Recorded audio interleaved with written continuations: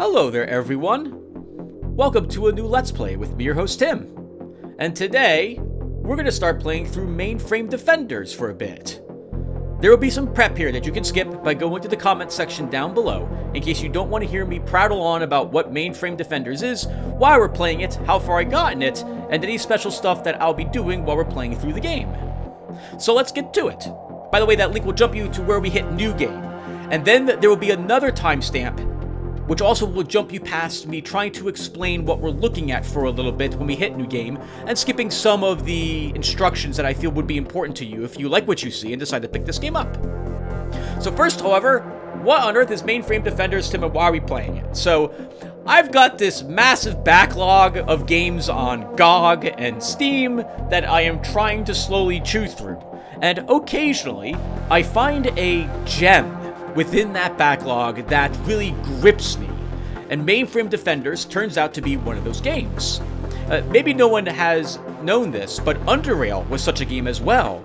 A few years ago, going through my backlog, I fired that game up and like, what is this? I should play this. And I loved it. And Mainframe Defenders is another game which I have quickly fallen in love with. I have beaten this game three times, and I have failed two of my times to get through the game. Mainframe Defenders is a squad-based, turn-based tactical game in which you are presented with a different variety of missions. You select one, and then you try to accomplish that task. The mission will present you with the rewards for completing that task before you go out on it, and tell you what type of mission you are doing, along with how difficult that mission will be in relation to the tier that you are trying to complete, and the amount of enemies that you will be fighting in the mission. It is a rogue-like game as well. There's no saving. So once you once you lose someone, you uh you get them back, assuming you're able to still complete the mission, and then you can repair them back up to full strength afterwards. You lose all of your squad, that's the end of your run. Like some games where you gain experience points upon failure, this game works that way as well. If we lose a run, you're then given some research points and some unlock points, and these are used to give you other units you can use in the future, and research points are used to have other types of equipment show up during your run.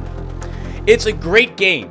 It reminds me very much of other games such as Sewer Arbiter's Mark or Final Fantasy Tactics with how the game is played. Your units will have a a movement and an action and sometimes a second movement, or even multiple actions that they can perform after moving or before moving. It's a lot of fun, it's very tricky, and I very much like the game. I can't think of anything else really to talk about. I have beaten the game a few times now, and will be playing a new game on normal mode. At the end of the mission, if we win, I will go ahead and read the email that we unlocked, and in fact, I'll read all the emails I currently have unlocked.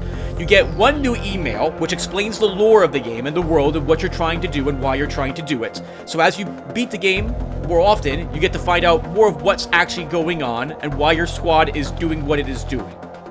So, I think with all that said, I'm going to go check out my recording. If everything is good, we'll be set to go. Give me a few seconds. Alright everyone, I got done talking at exactly the right time because the music stopped. So no one will be able to tell how many times I failed to do this next part because it's going to sound amazing. Alright, so we're all done explaining why we're playing the game. Let's go ahead and start playing it. Time for new game. The first thing we're presented with over here on the left is which units we want to take with us to comprise of our squad. When you first play this game, you're going to have six units available to you, and I think they're the same six units. Because we're starting a new game and I'm recording it, I will choose from amongst those six units that I know you are probably starting with in the game. We'll start with the Atlas, which is a mid-ranged sniper DPS type of unit. The Brigandine, which is a short-ranged tank, uh, a range unit that has a burst weapon. The Mechanic, which doesn't do very much damage with its needle, but it's the needle's has a low action point cost, so it can fire it multiple times a turn, and and can heal another robot if uh, or another squad member if need be. You have access to the Paladin, which is an even shorter range unit, but is able to move a second time during its turn after it attacks, for example, And also, its attack immobilizes a target, allowing you to get away from it or hide around uh, a corner or something of the sort. You'll have access to a Synapse, which is a debuff unit, which can keep units alive by reducing the damage output of enemies. And it puts a dot effect on them. And the Viper, which is all about dot effects, and starts with a little bit of armor. You will have access to the A version of all of these when you start your new game. In order to have you guys follow along, I will select from amongst these units that you also would have if you were to buy this game based on how the awesome video that you are at that you are watching at the moment. Next, you have to choose whether or not enemies will be upgradable. I think this might affect the amount of unlock points and research points you get at the end of a mission, but I am not sure. With this checked, some enemies will be randomly upgraded as you play the game. The upgrades will always make these enemies tougher, and are chosen, to my best of my knowledge, randomly, from various upgrades that they can have. Not every enemy will be upgraded, but later on it seems like a whole heck of a, a lot of them are.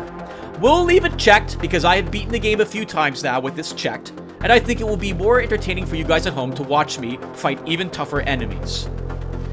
We have a difficulty to select as well, the first time I played through the game, I was able to win on easy.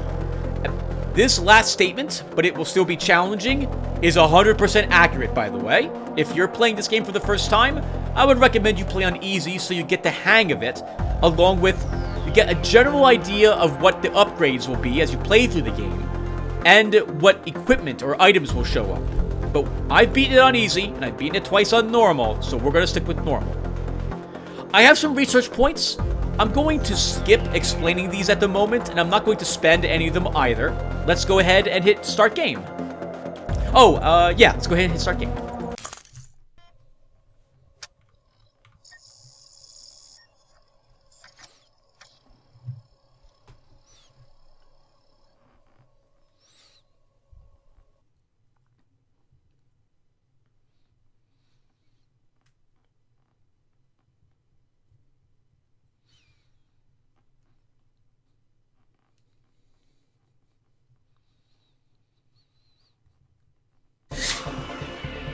Alright everyone, welcome to the quest or mission selection screen.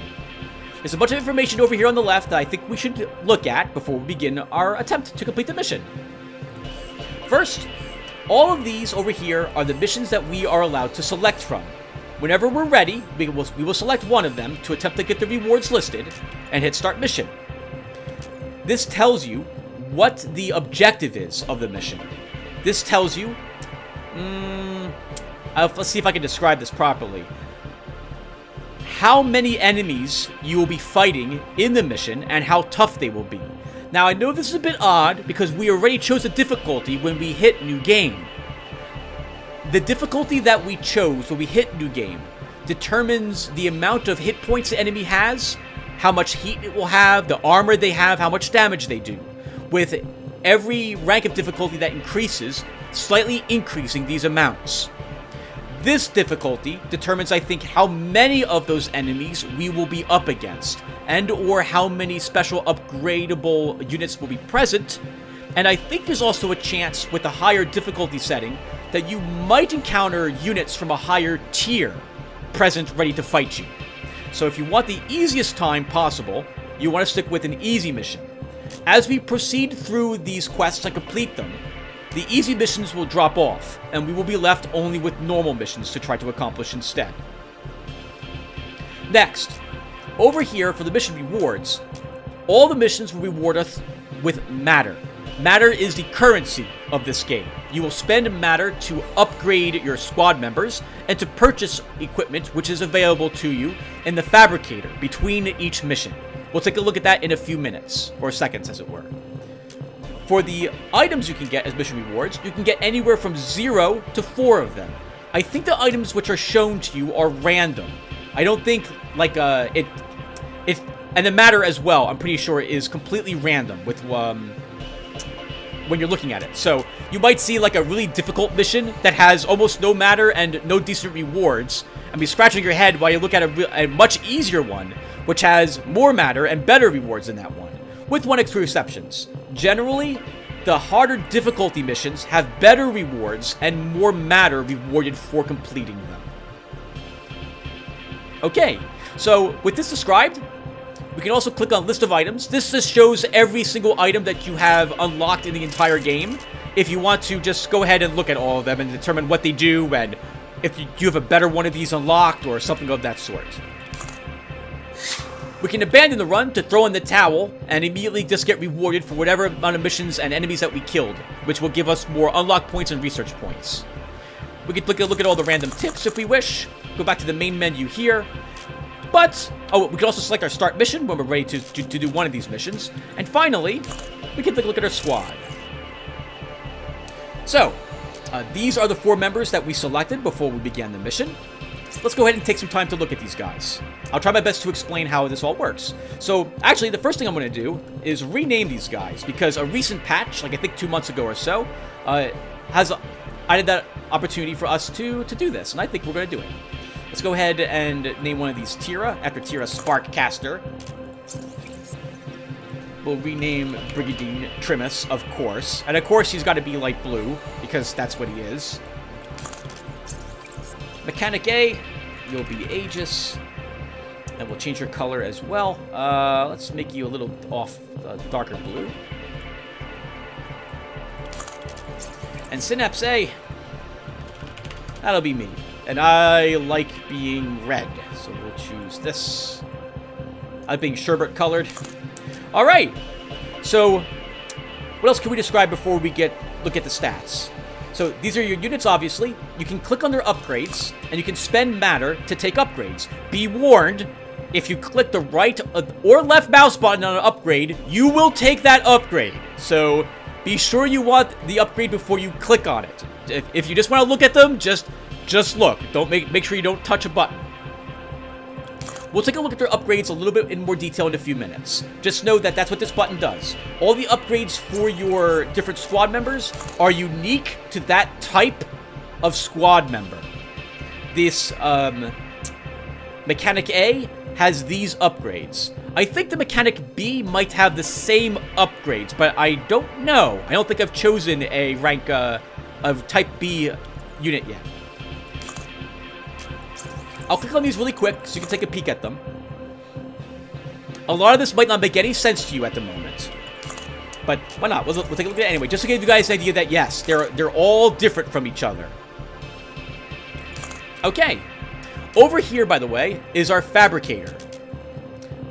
Between each mission, these will be here, and they are, well, uh, I'm sorry, that was a really bad way of phrasing it the, the items available in the Fabricator are randomized whenever you come back from a mission.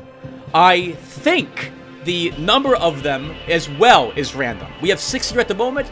We could come back and there could be like nine items here.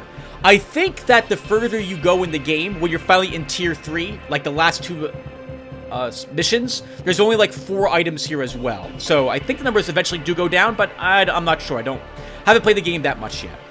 You are you can spend your matter to produce one of these if you wish, or actually you can produce multiples of them.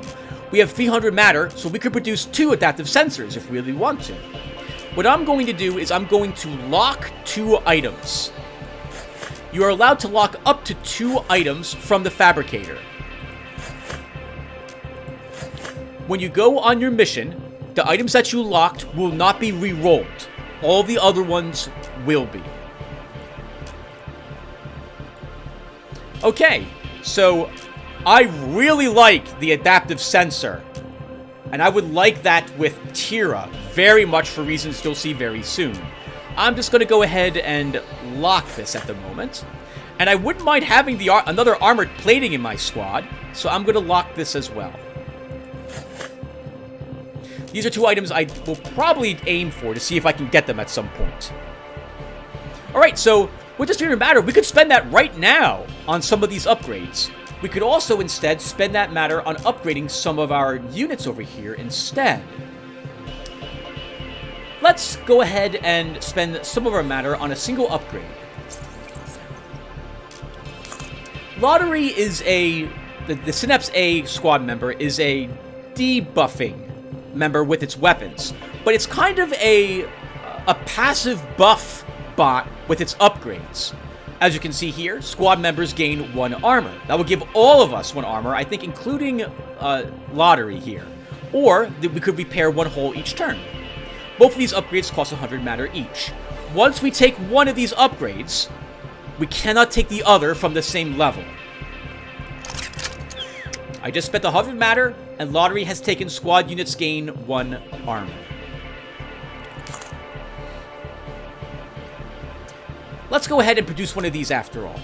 So I think we'll go ahead and produce this adaptive sensor to help us out to start. Let's go ahead and hit produce. 150 matter is consumed, and the item goes into our squad items.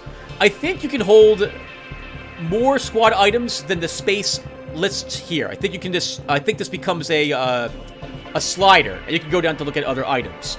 To equip an item onto your characters, select a character, and then drag the item over into their items. Your squad members can have at most four items equipped on them.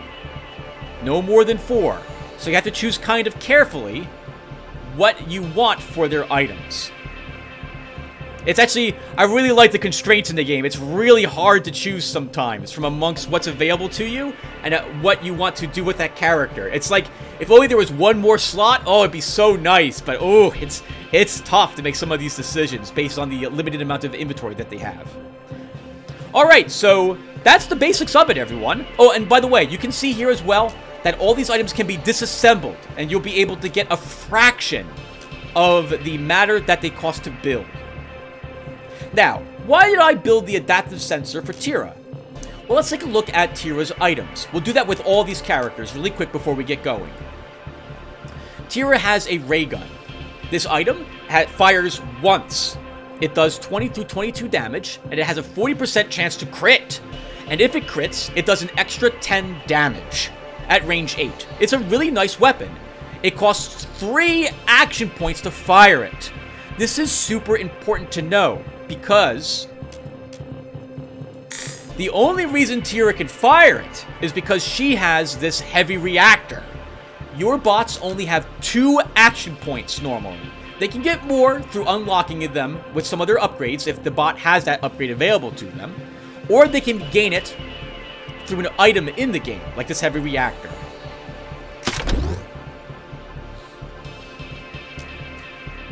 Anyway, Whenever we fire a weapon, we will gain heat. I think it's best that I just say that at the moment, and we'll talk about that more when we're in the game itself and beginning to shoot at them. But just, as you can see, the ray gun has a 40% chance to crit just because it's the ray gun. The adaptive sensor now gives Tira an 80% chance to crit, and increases the crit damage that she'll do.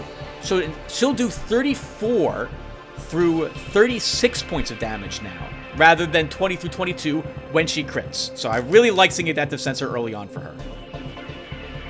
Trimus is the only other one who can take an upgrade at the moment, but I don't like that other upgrade, so we're going to pass on it. Let's go ahead and get started with the mission now, shall we?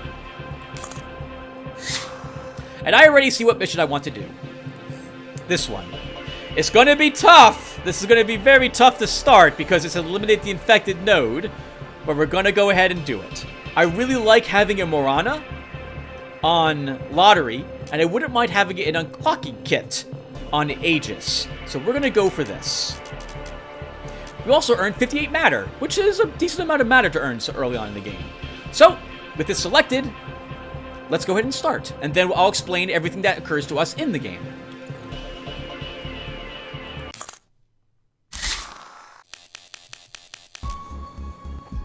Network traffic analysis indicates infected server nearby. Server disposal will delay the spread of the virus. Alright everyone, here we are. I think the game randomly chooses who is spawning on what spots for the different missions that you start in. For our infected server, in this map, in this room that was randomly generated for us, this is how we're starting. If we started a different mission, we might be set up completely differently, just as a heads up. You're not always guaranteed to have the units uh, deployed in the spots that you see them here. This is important because units block movement and line of sight for other units. Tira cannot walk through Aegis. she's got to go around Aegis to reach these spots. So if I want her to move up, for example, I will want Aegis moved first, to, in order that Tira can move up a little more. The game shows you the movement that your characters will be able to go. There is, but when you select that unit, right-clicking undoes the movement option. There is no undo option in the game.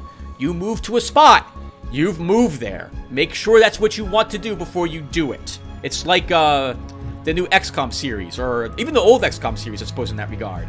There's no saving mid-game either, or undoing or quick saving. You're stuck with it. Next, let's look over here on the left for our objectives. We have to destroy one infected node. The infected node applies interference each turn. What does this mean? Well, because I've played this game before, I know what interference is. Actually, interference is on the weapon that Lotaeri is using at the moment. It's going to apply one interference to us. This is going to reduce the damage of all of our weapons by 35%. And it will keep being applied to us every turn until we find and destroy the object in this mission which is causing it. And that is our objective. Find that thing and destroy it. We can see that the enemy squads will begin to activate and move around hunting us in two turns. I believe that they always know exactly where you are and will be coming for you. We can also see that reinforcements will start to spawn in in 12 turns.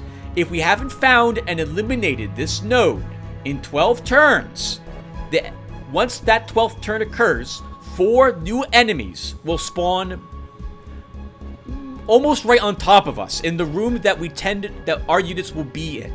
And then the next turn, they will be activated and begin attacking us. The reinforcement timer will reset to about four more turns before we have to deal with new reinforcements.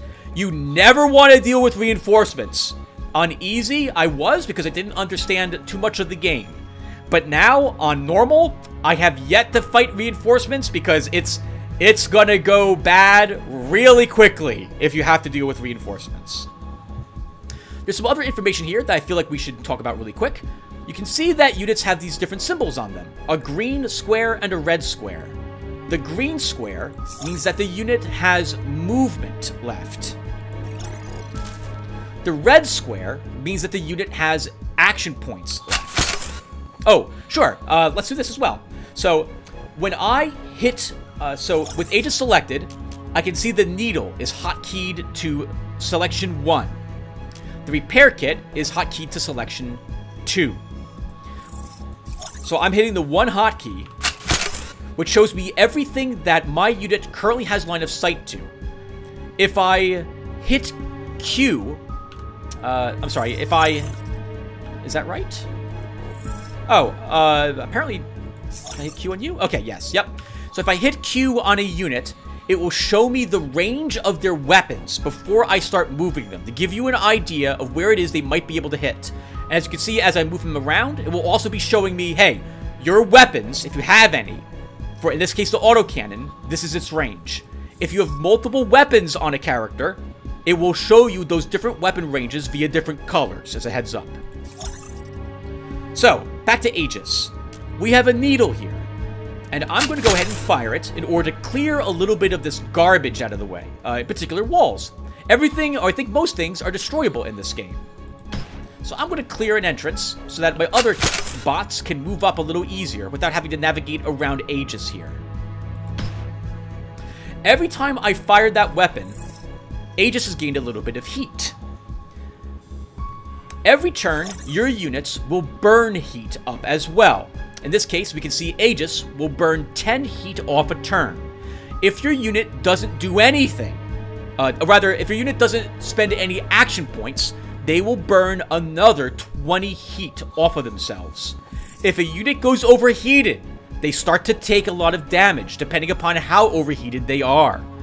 I think you can go up to 300% over your normal heat maximum, in which case you're, you're taking close to 30 points of damage, practically destroying yourself in the process.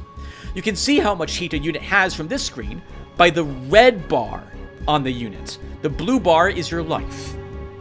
Okay, so with all that said, let's go ahead and move Trimus up a bit.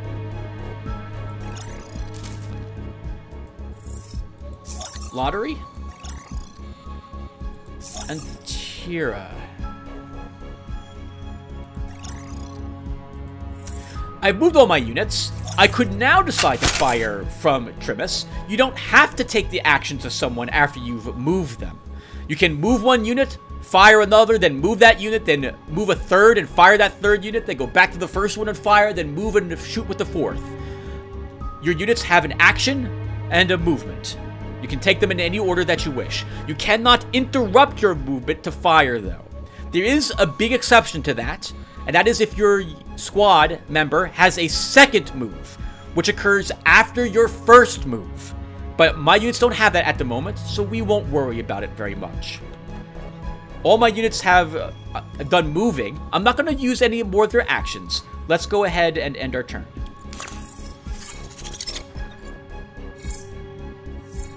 Now, I don't know where that infected node is, but I do know one or two things. Do you see this here? See these X's? This means that this is untraversable. We cannot go that way. It does look like there's another room up here. I could have fired through both of these walls to move up into this room. Maybe what we're looking for is up there.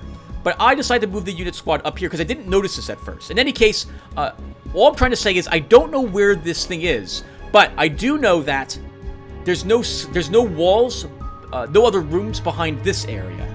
The item could be down here. It could be up here. I don't know. We're going to go up here to start. Our first enemy unit, everyone. That's a heater. We'll take a look at it after we get after we get done moving everybody.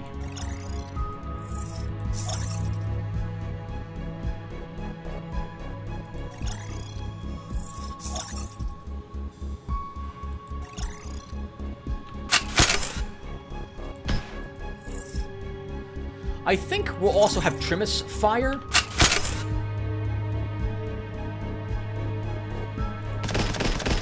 Just to clear out some more wall. Okay, our first enemy unit, everyone. Let's take a look at it together. So first off, hovering over the unit shows its current movement range, where it can move, and its current uh, target range, what it has line of sight to. Unfortunately, there's no way for me to tell uh, if it was to move here, I can't then see where it could reach if it was standing here. It's just, unfortunately, the game doesn't let me do that. But uh, in any case, we can take a look at it. So all enemy units, to my knowledge, have one action point, and other weapons always take one action point to use them, or their items, depending upon the creature that it is. We can see their hit points. Once it's reduced to zero, obviously it's destroyed. This creature has 4 armor, 100 possible heat, burns 20 heat per turn, moves 6 movement a turn, and is armed with this heater cannon. It does very little damage, only 2 through 3. It can't crit, it has a decent range for an enemy unit. It inflicts 20 heat to itself, but it inflicts 30 heat upon dealing damage. I need to explain what upon dealing damage means, because I learned it doesn't mean what I thought it meant. This doesn't mean upon the unit it fires upon sustaining damage, this means upon the weapon being fired on an enemy. Even if this weapon inflicted no damage to Trimus, for example, with his 5 armor, 4 for that starting armor, plus 1 for Lotaeri's uh, passive that he gave him, Trimus will still take 30 heat. Keep that in mind. A weapon that does 0 damage still applies any effects it had to the target. This guy's armed with armor plating, giving him plus 2 armor. Now, the squad units will awaken soon in one more turn, so he's not going to activate this turn. Next turn, he will. However, if you if we enter the room he was in, or got within, I think it's like five or six spaces of him, he would activate. And everything else in the room with him would also activate. And we'd have to worry about dealing with them maybe a turn in advance. Keep that in mind. Alright. Oh, I suppose I should show you something else as well now. So all of our units now have a status effect on them. Interference. It's not improved interference, it's just normal interference, and so all of our damage is being reduced by 35%. It's going to last two turns, and as we can see as well, it's, um, we got two stacks of it. I don't know what the stacks matter for interference. I don't think they do. It always applies just 35% damage reduction. It's not per stack of interference. All right, uh, we're done moving. I'm done shooting. Let's go ahead and end our turn.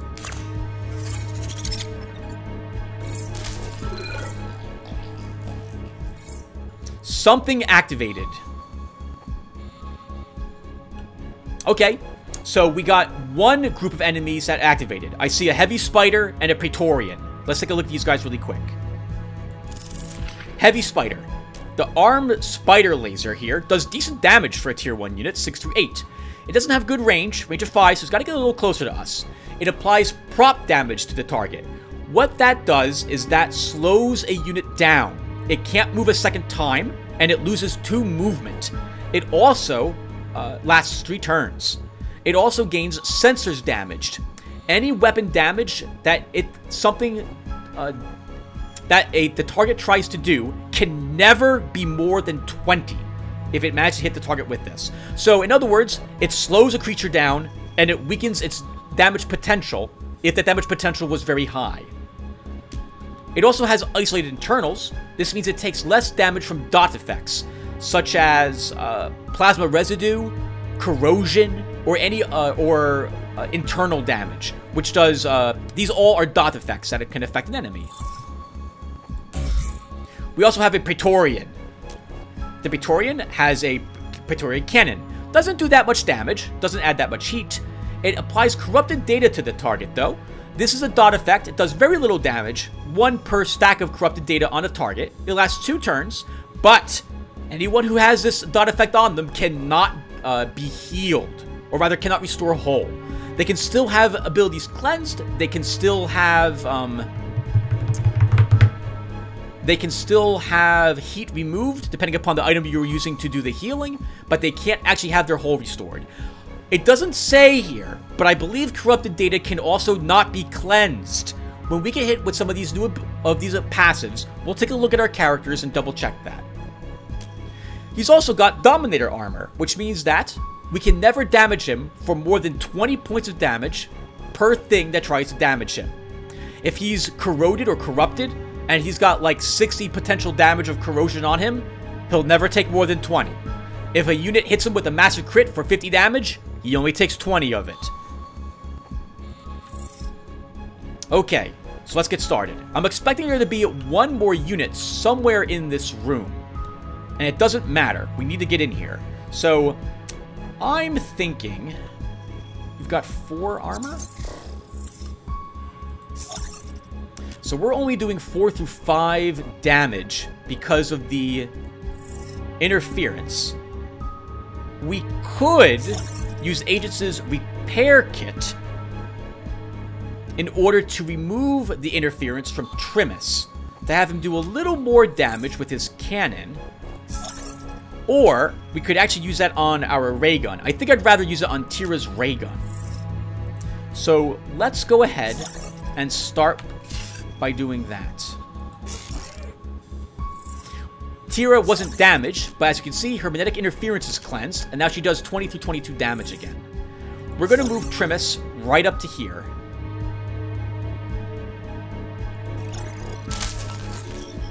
Two enemies. So the other enemy is a... I should know what this is called. It begins with an A. Acrid. Yep. Acrids. They move four, and they have a second movement, letting them move another five spaces afterwards. They burn a ton of heat each turn, 27. Their laser doesn't do much damage, and it's only single fire, but whenever it damages an opponent, it gains 2 damage, up to a maximum of 8. So as he continues to fire this, this is going to get stronger and stronger, so we definitely would like to kill it if we can. We're going to hold off firing with Trimus at the moment. We'll move...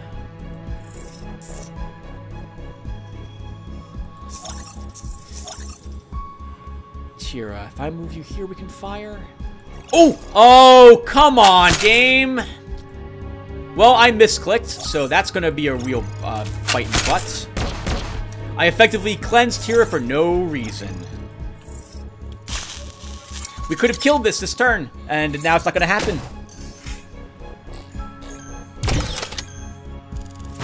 That sucks, game. I hate you. That really freaking sucks. All right, well, let's let's play it, Tim. Play it out. Let's move up here, and we're to chase down the heater. Run you up here, Trimus. Uh, we'll let the heater go now. It's to die in a turn or two. We'll start working on the uh, Acrid.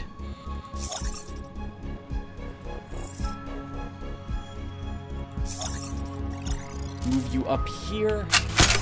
Fire on the heavy spider.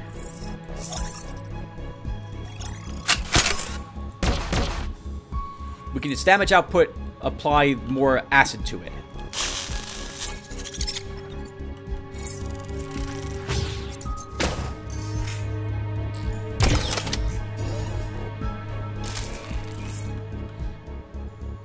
Okay, so the heater is going to die on its turn, so I don't have to worry about it any longer. Our repair kit is working again, so we could fix Trimus and have Trimus try to destroy the heavy spider, or Trimus could, uh, Trimus kill this now? We'll do 12 to 15 total damage to it. Uh, let's not do that. Okay, let's have Aegis repair Trimus. And then Aegis, you're going to move over here. I want to see if the thing we want to destroy is in this room.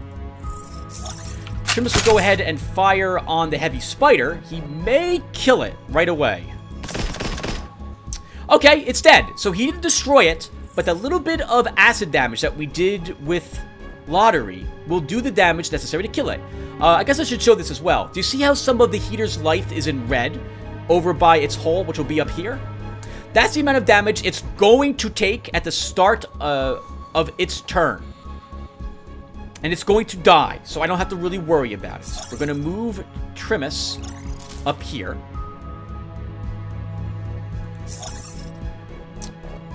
Let's move you here, Tira, and we'll fire on the Arachnid. Hey, we crit! Wonderful. Quite dead. Lotaeri, we don't need to have you do anything this turn, so you're not going to do so. I'm very professional, everyone. There we go. And Lotaeri's just going to sit there in order to burn off some of this heat he's acquired.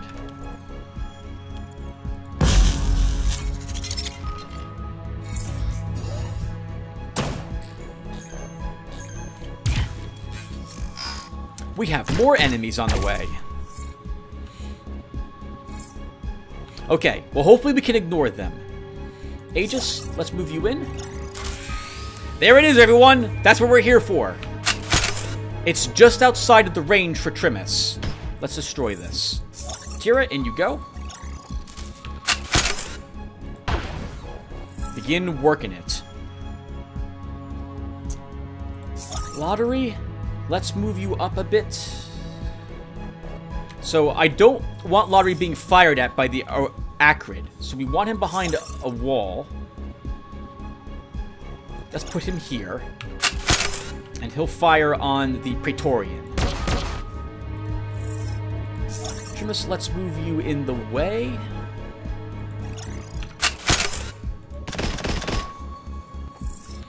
Now, note that for this guy's armor, the Dominator armor, it's any instance of damage dealt, not per turn. If Trimus's autocannon was dealing 15 through 20 damage with each shot, he fires three times, all three of those shots would still do 15 through 20 damage to the Praetorian. It doesn't, again, it's not damage uh, per turn, it's damage per thing hurting him as I unplug my headset from my microphone. Okay, that's everyone.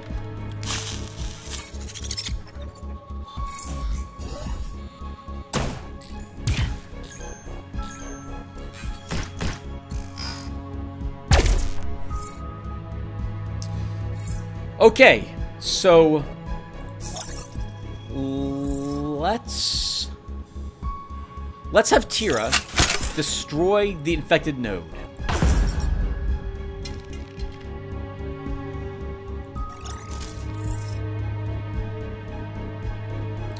Lotaeri? Let's... Uh, do I want you firing? You're kind of overheated.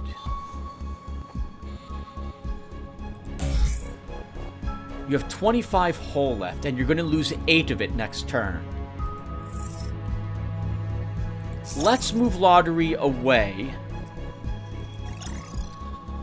And I'm not going to fire with him. I want him to lose some more heat.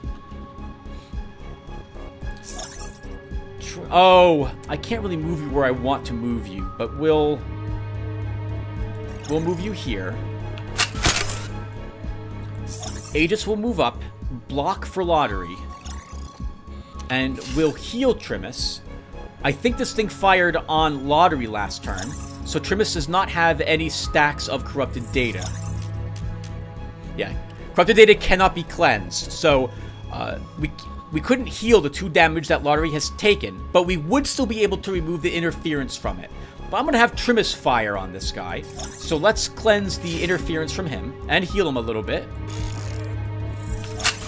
And now we fire on this guy. As you can see, even if we don't do enough damage to kill him, if we do 21 points of damage, the acid will still do the rest.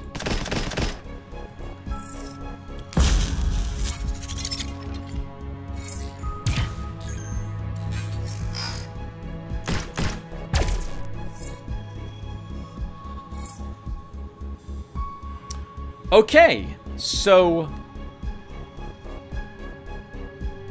let's have Aegis fire here, fire here.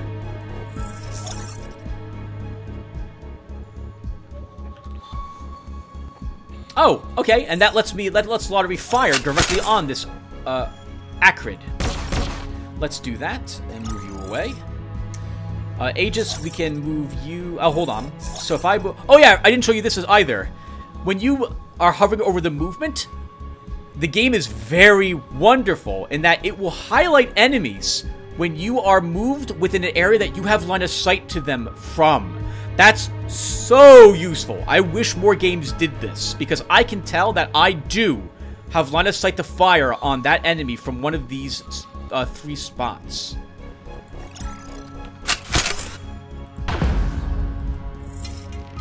We can see down here, by the way, how much damage that they've suffered. The log for your current turn is displayed down below.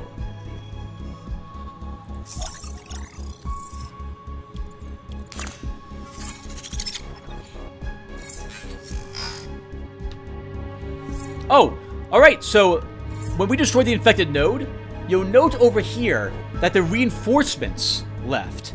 All we have to do now is deal with the last remain remaining enemies that were on the board. This is super useful to know. Uh, most missions that have you trying to complete a task do not have endlessly respawning enemies. The few that do, I believe offer you a way to leave the mission with all your units being within it, at which point, like, uh, it's an area highlighted in orange. When you complete your tasks, you go to that area, and then you leave the mission at that point. So you don't have to ever deal with endlessly respawning enemies unless you really want to, or you're too slow in accomplishing your other objectives.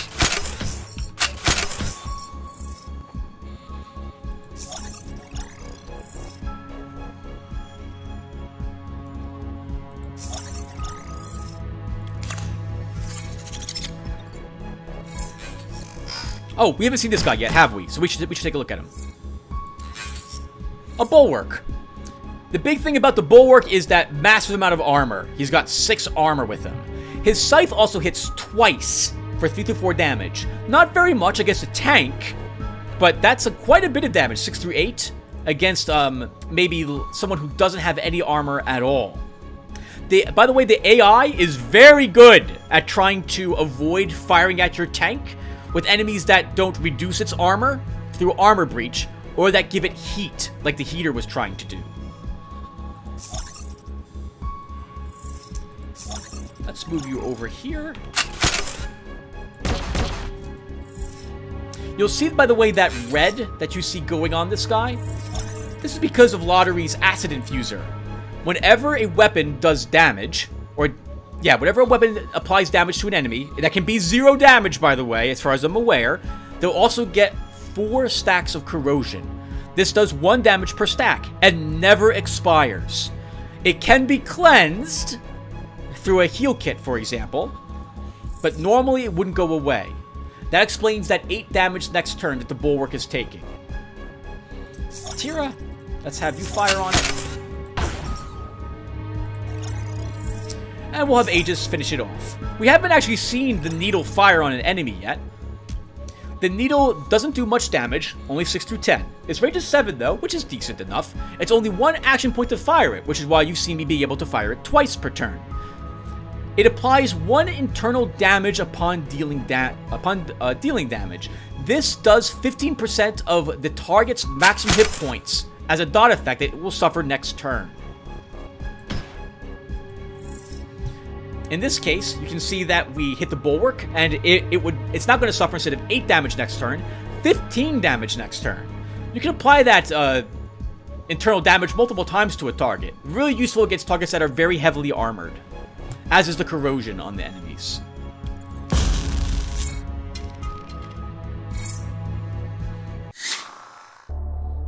Alright, victory everyone! We in 58 matter, a Morana, and an overclocking kit.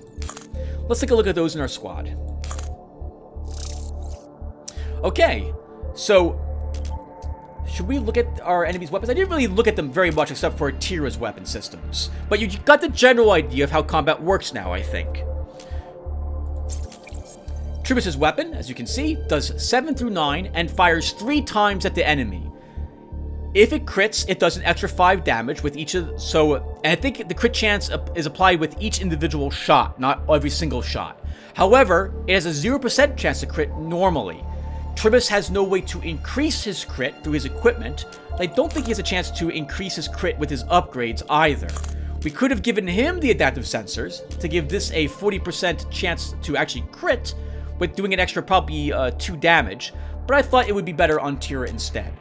Anyway, I'm pointing this out because weapons that have crit but no percentage, if you don't have any way to increase that unit's crit, you're never going to see that crit damage increase. He's also got 4 armor, thanks to his armored plating, which was available. We've seen the needle. I talked about it for uh, the last mission uh, briefly, so we know how good that weapon is. And you saw me using the repair kit. It's very useful for, as, as you've seen, cleansing status effects and also repairing hull. Lotaeri's magnetic cannon, which I didn't explain too much, does decent damage, 10 through 12, and fires twice at a kind of short medium range of 6. It's 25 heat applied to him, that's a pretty decent amount of heat. It also applies 2 stacks of improved interference to the enemy, which reduces their damage by 50%. I don't think anything cares about the amount of stacks of imp inter interference on an enemy. So if it was 1 stack or 20 stacks, it's still 50% weapon damage reduction. He's also got that acid infuser, which I talked about. Really useful for a rapid firing weapon. If we gave that to Trimus, he'd inflict 12 points of corrosion damage to a single target, rather than just 8 that Lotaeri's inflicting. But we'll leave it on Lotaeri at the moment. So we earned an overclocking kit. This is used on other allied units. I think it can actually also be used on the unit that possesses it. I think it still works that way, but I get the impression it's not supposed to. It's only one action point to use it, and this is the first item we're seeing that has a cooldown on it. We can only, well actually it's a second, I suppose. We can only use it once every two turns. The repair kit is the same thing, only usable once every two turns. It increases by plus one, I believe the minimum and maximum damage that the target gains. We're going to give that to Aegis. I think it works really well with his needle, because his needle is only one action point, so we can fire the needle once, and then use the, over, oh, the overclocking kit on someone. In particular, each one of Trimus's autocannon shots would be improved by plus one every time we're able to use the overclocking kit on him, making this weapon a real beast. So we're going to give it to Aegis. As for the Marana, it also is a two-turn cooldown. It does no damage. It has a 100% chance to crit, with no damage done. We'll explain that uh, in a little bit. This range is also 7. Like, why do we care about 100% crit weapon that does no damage? Well, I'll, I'll tell you in a few seconds. Notice that this does 25 corrosion damage. Uh, oh, sorry, applies 25 corrosion upon dealing damage. Remember that a weapon deals damage even if it didn't do any damage to an enemy. So this effectively puts 25 damage uh, per round over time on a target. Combined with the acid infuser, that's 29 points of damage. It also applies to armor breach to the target, lowering their armor by 2 points, and lasts for 2 turns. If you reduce a target's armor into the negative, they take extra damage from all sorts of uh, attacks. We'll give that to Lotaeri. When you assign weapons to an enemy, uh, to, enemy, to a, a squad member that is beyond their, uh, well, actually any weapons, it goes immediately up on their equipment list. Um, that's not particularly important in any way. I just felt like I, I should mention it. So, like, the Marana replaced the Acid Infuser as a second item. It's now the second item. Okay, we also have 108 matter. Let's go ahead and take a look and see what we have available at the moment. If there's anything else I might want. The Kinetic Cannon could be a nice weapon to give to Tira. It's another well, this weapon has incredible range at 11 range. That makes it very nice. It also does an extra 15 damage if it crits. And since we gave Tira the adaptive sensor, that actually is a As he has a chance to crit now, 40%. And it will do probably close to 20 damage extra if it hits with it. It applies 3 armor breach to the target as well. Another good sniper weapon. There's another focal sensor, if we wanted to pick up that and give that to someone for 40% crit chance, but I think we'll pass it on that at the moment. A laser drill, decent damage, 22-25. Fires once, crit 20, just naturally, is also really nice. But its range is only 3, so you gotta be right up next to something. It also has piercing attack. I I think that means it ignores all of the enemy's armor, but I don't really know if that's the case. I think that's the case. I think that's the case. The Gyro Stabilizer.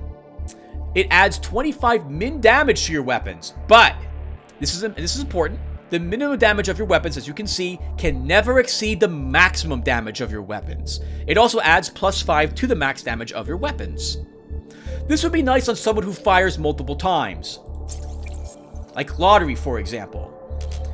His autocannon would gain effectively 5 points of damage. He would do 17 points of damage twice.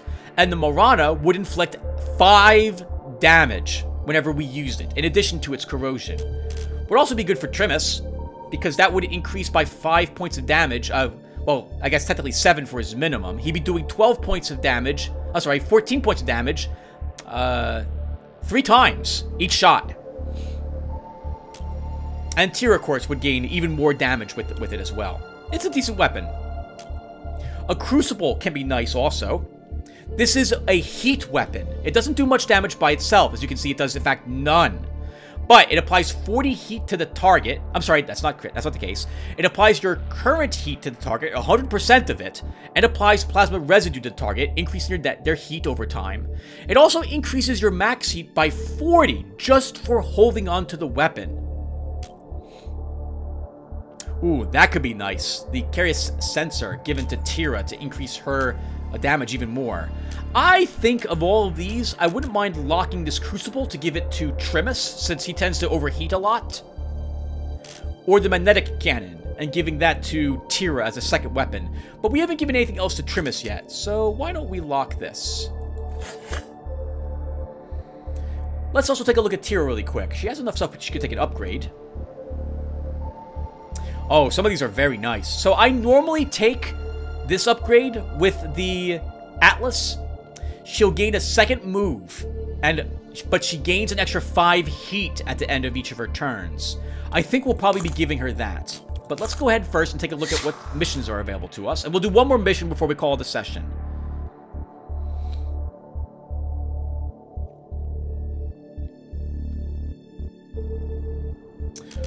Ooh. Heavy autocannon. That's a better version of what, uh, well, it's not a better version. It's a different version than what Trimus currently has. It does 4 more min points of damage, and 7 more my, uh, ma 6 more max points.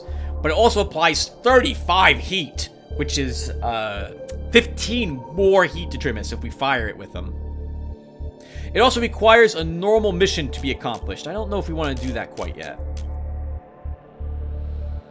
Let's see. That's not going to be helpful to us. Rend Cannon can be a decent weapon as well. What's the range on that? Range 7? Armor Shredder. Very nice, giving that to uh, Trimus. All of his uh, shots apply one armor breach to the target. Proof Sensor is also nice, plus 20% damage would be very nice. Oh, speaking of that, by the way, I mentioned but didn't uh, explain. Why do we care about a 100% crit weapon if it doesn't have any extra crit effects? There are items you can buy, or squad upgrades you can find, which do special things upon crit. So for example, actually that, um, this, for example, this extra crit damage upon receive, upon dealing crit damage, for example, every time we fired the Morana, this sensor would give all the weapons that Lotaeri has an extra 15% uh, crit damage. It wouldn't really help them because we have no way to crit with the magnetic cannon. But that is an example of how it would work. If we gave the Morana to Tira, gave her the Cirrus sensor, and dropped maybe the adaptive sensors, whenever she would crit with the ray gun, she would actually be earning a little bit of crit. So that's why some weapons have a crit chance, but have no extra damage done on a crit. There's other things like your squad is healed whenever anyone crits, in which case you want, uh, you, this Morana would make everyone heal whenever we used it, for example. So, things to keep in mind as you're playing through the game. So this is tempting for the Armor Shredder and the Improved Sensor, but I, I don't like only 34 matter, and these, they're not the best items in the game. The Armor Shredder could be useful, but uh, can we do something a little better?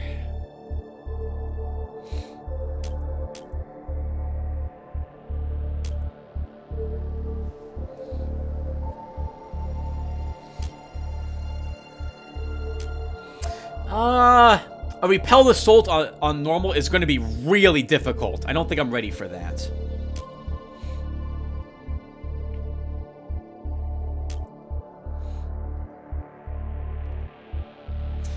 Carabin is a decent weapon, 15 through 17 times 2 damage, no heat generated with it. It does have a cooldown of 2 turns. That's tempting. I don't know if we can actually destroy the maintenance station, though, on normal with our current equipment. Maybe we should show you a normal mission early on. Normally, we could wait to do this until halfway through Tier 1 when all the easy missions are lost and, they, and all the missions are normal or hard. I don't know if we can do this so early.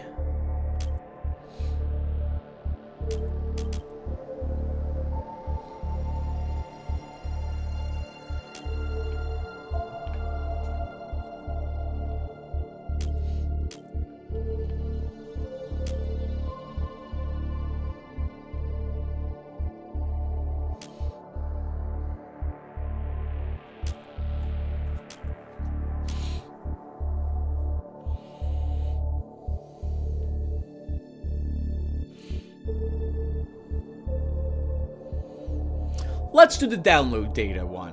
Let's do the download data. The acid cannon, we can give that to Lotaeri, and I can maybe drop his other weapon, although we won't benefit from the acid diffuser as much, because we don't have a weapon that's firing twice. We still get to apply 16 corrosion to the target, and this weapon still also implies imp interference to it. We're kind of changing Lotaeri from a standard debuffer to a corrosion debuffer instead, but I think that will work. And we can give the deployable cooling to Tira, and she'll lose extra heat if I don't move her after she fires or if she doesn't take her second move. So with that in mind, we'll go for this mission. And we'll actually take Tira's second move upgrade.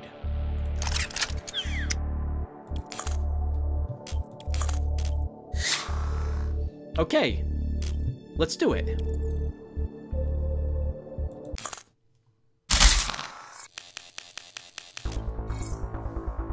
The source code repository has was disconnected from the network to prevent infection.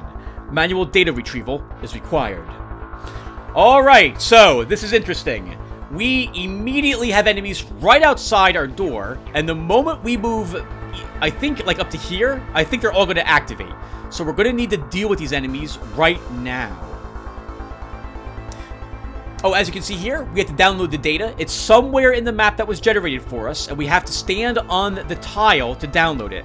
This is not those tiles. This is where we'll need to go to leave the mission. Don't be here for the download. That's not where that's not what you want to do. Alright, so I'm thinking with Aegis, we use our overclocking kit on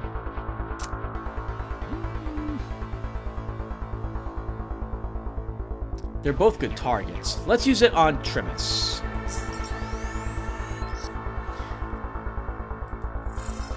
We'll fire here to make a hole for Trimus. And we'll move here.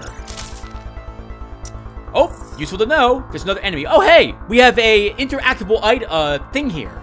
So this here repairs 8 hull to the player's unit and removes all status effects works on a random player's unit within 3 tile range, has 2 charges. So you have to be within this range to use it. And it will choose from our units only, won't heal their units, and it chooses randomly if we have multiple units standing in it. Good to know that we have a free heal basically waiting for us over here. I think it does it at the end of our turn. So, Lotaeri... I can't... I really want to hit the heater with the uh, acid, but I can't seem to do it.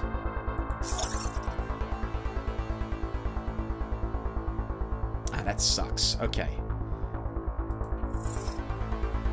Alright, well let's deal with the heavy spider then.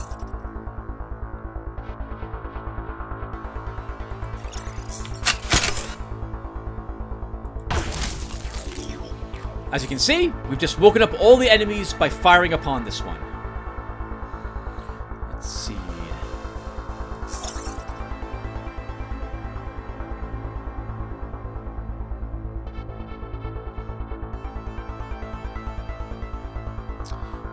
I don't think I can kill it with Lotaeri. It also has isolated internals, so it's going to take less damage from acid damage. That's what I try to do, do to it.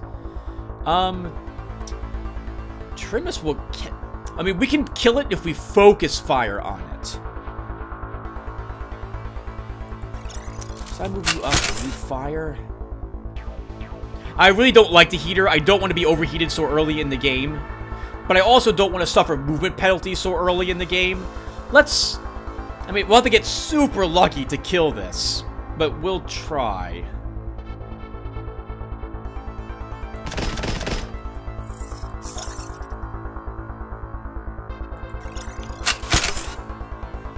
Oh, okay.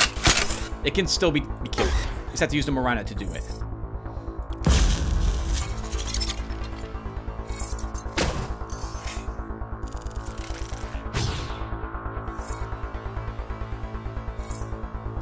Okay. Lotaeri, let's have you come out here.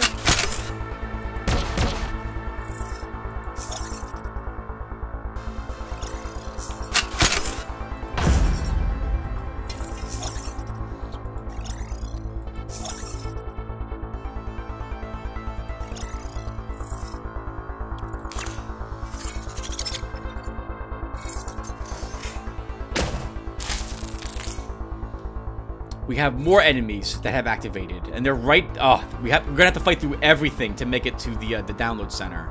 I would like to kill this thing before it keeps harassing me more.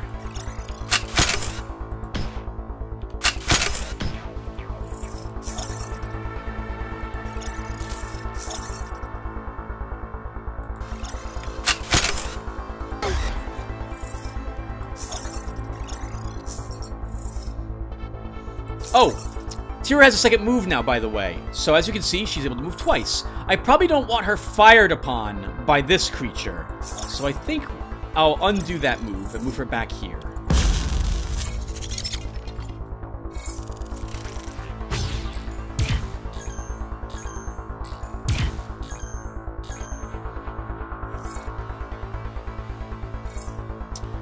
Okay, so our uh, overclocking kit is off a cooldown. Let's use it on Lotaeri.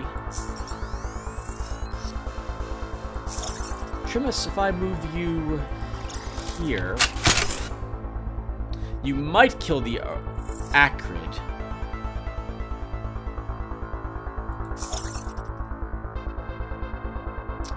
But you know what? If I move Aegis here,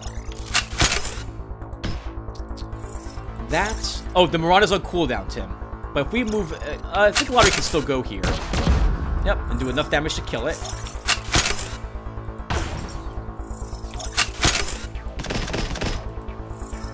Didn't quite kill it.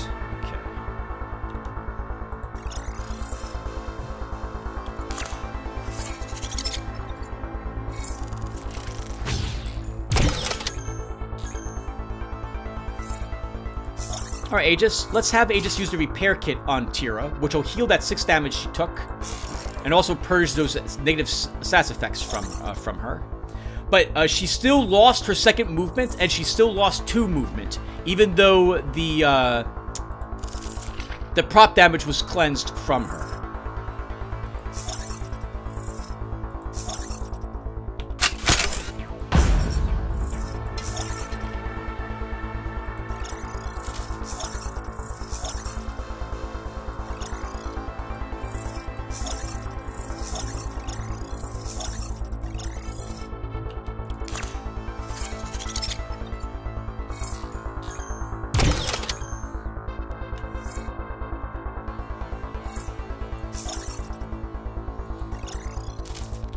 Come down here.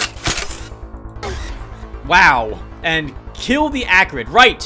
One point of damage, thanks to being increased by the Aegis. And then 29 acid damage is enough where our Morana can guarantee we kill an Acrid in one single shot.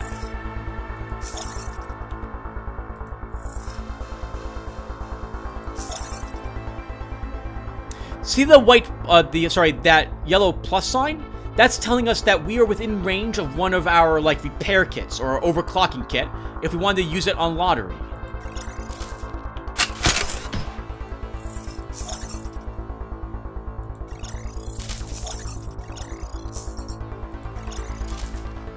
We gotta find the download link, so we gotta move out quickly. We have only five turns till the enemies start spawning in.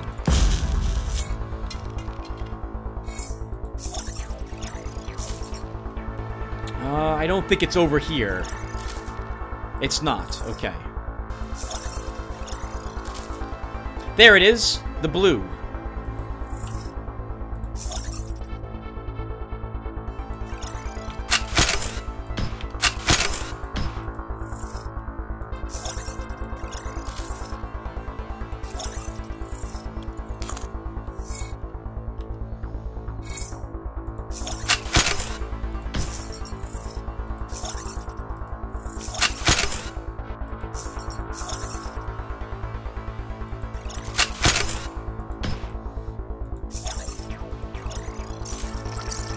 Broadcasting new directive.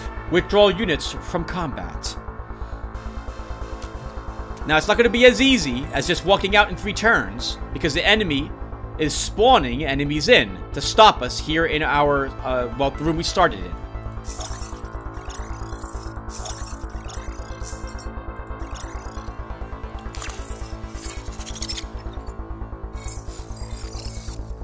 Units that teleport in cannot be harmed while they're teleporting. But they also cannot attack you. It gives you a round to see what's spawning in and try to deal with it. Or at least, I'm sorry, get ready to deal with the enemy.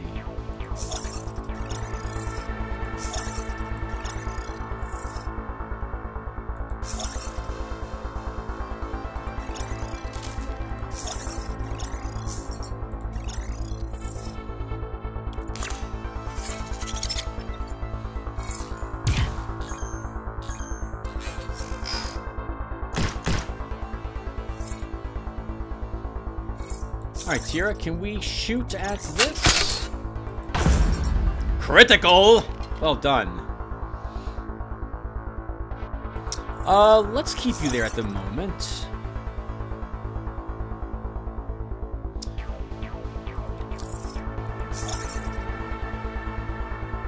So I can't get close enough for the overclocking kit to use it.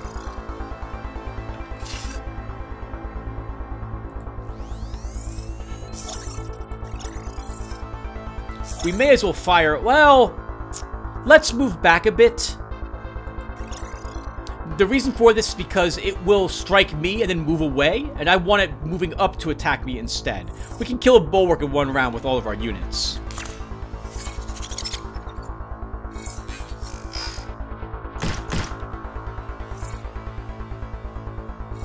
And Trimus shrugs off that damage. 3 through 4, that does nothing to Trimus, because he's got 5 armor.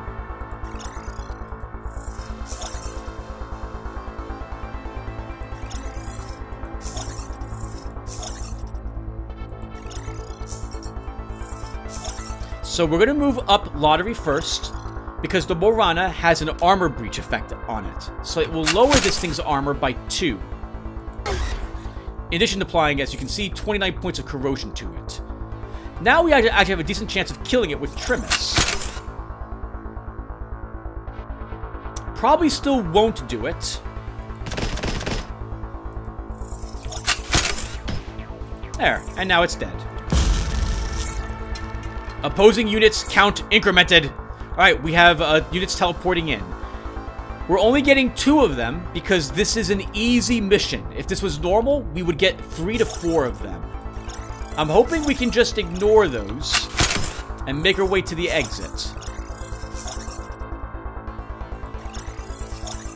We should use the overclocking kits.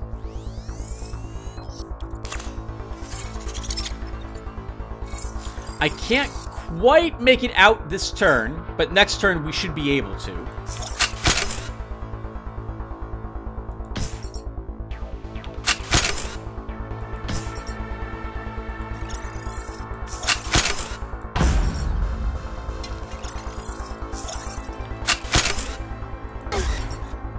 Notice that we hit it with the Morana, but because this is a Praetorian and it has its Dominator armor, our acid damage isn't going to inflict 29, it only inflicts 20.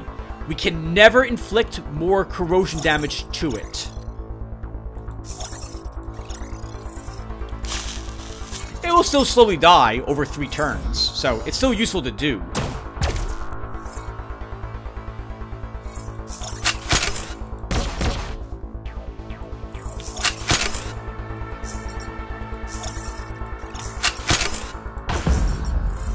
Get points at the end of the game for the more enemies that you kill, so we'll kill that guy.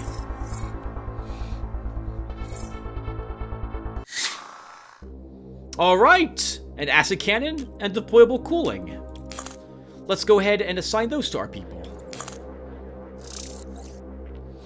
We'll take a look at the next missions that are available, but I think we'll be done at this point. So, uh, Tira is going to gain the deployable cooling. If she has a move left, so if we hit end turn, and she has to move either at all, because we didn't move her even once, or we moved her once, but she still has a second move that we didn't take, she will burn an extra 25 heat at the end of the turn. For the acid cannon... You know, I think we'll give it to Trimus. He doesn't have a second weapon. It'll give me the option to apply even more corrosion to the enemy in case the autocannon isn't something that I want to use against them.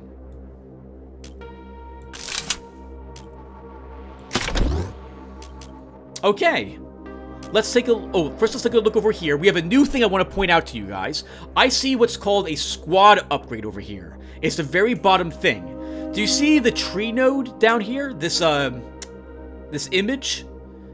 This indicates that this is a special upgrade. It's not attached to your units it's put down into the into this slot.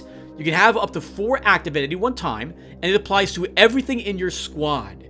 In this case, as you can see, our squad would gain five minimal damage. It's decent, but I think I like the two things I currently have locked at the moment.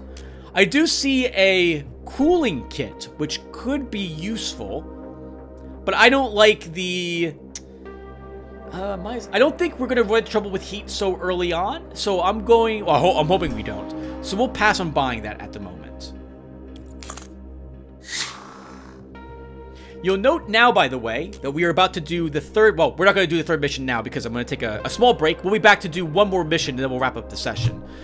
Uh, but you'll note really quick before I go to compress this part down that the easy missions are no longer around. They are gone. Now we have to do normal missions or hard missions. Note again that, well actually I suppose now see the our matter, the matter that's available has greatly increased for us. Instead of 38, it's 105 now.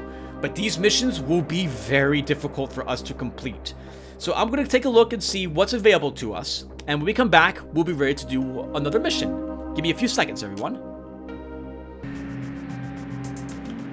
Hey, good morning, everyone. I'm back. The part's been compressed down. It's now the next day. Ugh, just woke up and ate breakfast, and let's get this last mission done for this video. So, I get a chance to talk about weapon upgrades before we go ahead and do a mission, but I think we're going to be trying this one.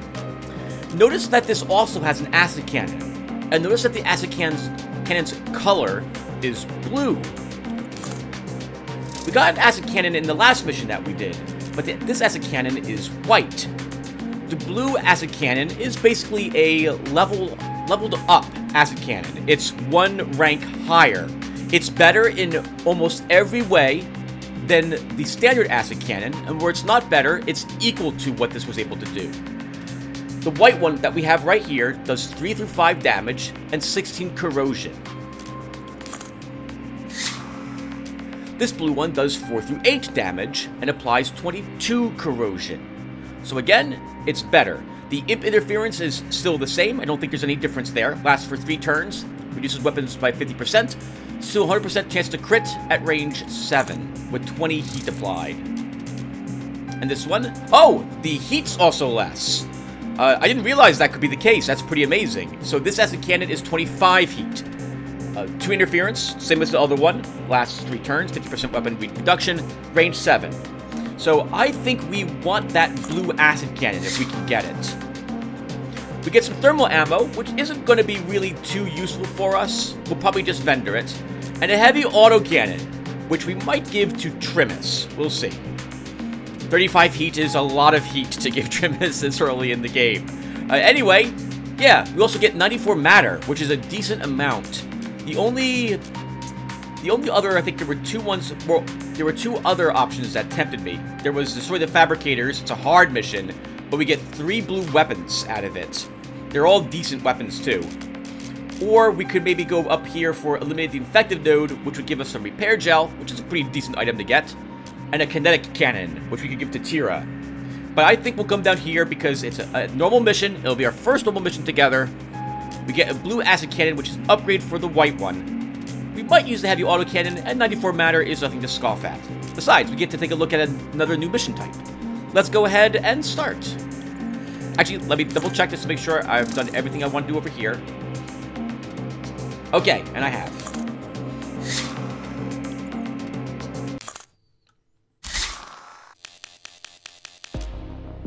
Corrupted units gained a bridgehead in this sector.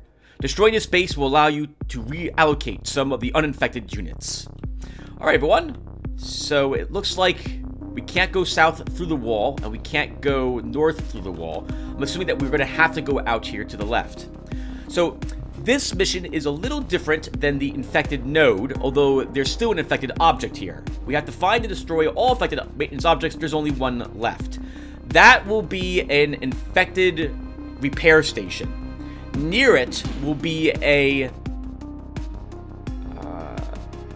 I don't know how to describe it. There'll be a station which is producing new units every third turn.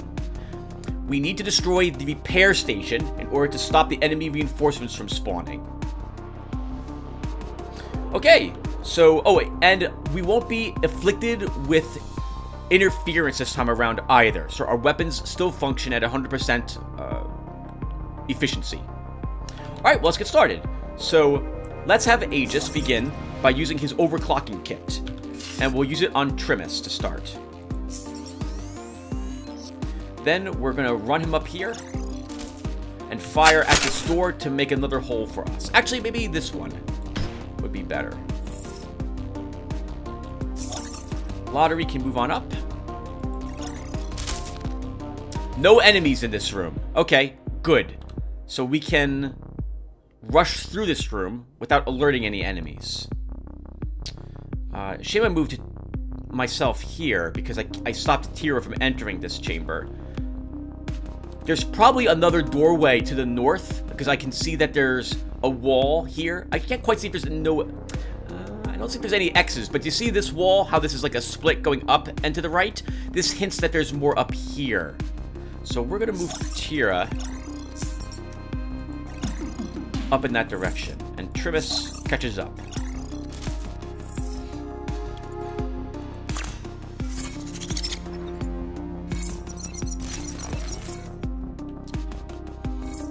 Okay, the maintenance station activated. And when it did so, is that right? Was it called maintenance station? Fabricator, sorry. The fabricator activated and produced a new unit. And we were lucky enough, actually not lucky enough I suppose, because this is always the case, we are now able to see where it is actually located. So our choices are to come down here to this room and possibly eliminate any enemies that are waiting to wake up down there, or work our way over here to get the fabricator. We only have nine turns, and this is far away, so we're gonna try to make a beeline right for that fabricator.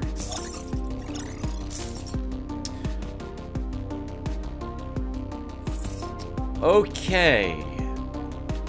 This area is blocked off from us. We can't actually get into this room from this side until we destroy the walls. The game wants us to go out this direction instead.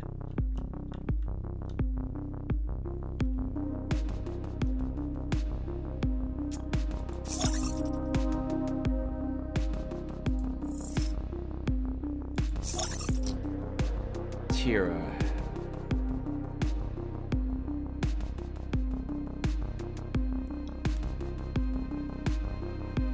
I don't want to move her too close to that enemy, or it will activate. I think this might be a safe place. we're going to fire on this wall to open it up for us.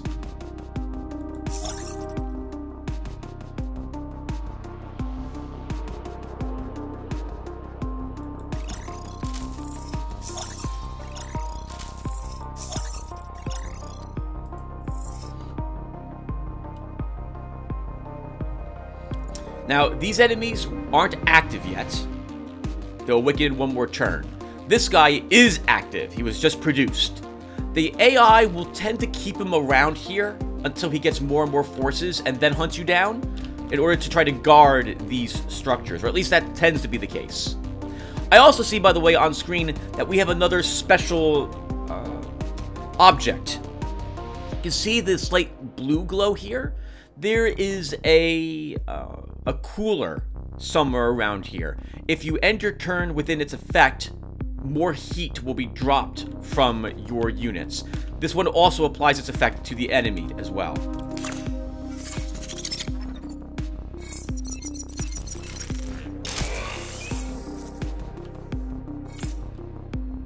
Okay, the enemies to the south of us have activated. If I want to make my way towards this, I'm a, I will need to either fight through these units to do it while trying to avoid these ones, or, or we head out through this door and hope we can reach this quick enough. I think we're going to stick with my original plan and try to fight these enemies off first. We're going to use our, eh, our overclocking kit on Lotaeri.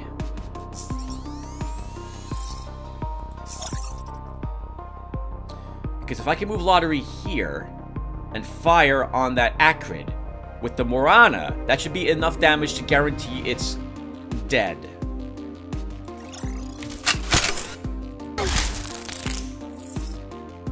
Yep, dies on its turn. Now there's some new enemies down here we haven't seen yet. We have an Orion, that's this creature, and a Repair Bot, that's this one. Uh, Repairman, sorry. Repairman has a double move, it has a Corruptor, which doesn't do too much damage, but it does inflict more heat on the enemy, but not that much extra heat either. It's annoying though because it has a repair kit. Its repair kit heals incredible amount of hull and also removes all status effects. The repairman doesn't have any armor though and only 30 hit points, so if we can get a chance to kill it, we will definitely make the attempt.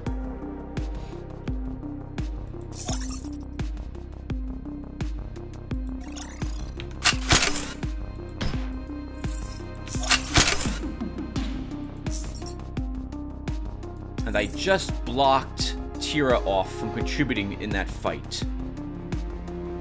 Let's have Trimus come up into this direction. And we'll just end our turn. Oh my goodness, there's so many enemies in there. Four other enemies.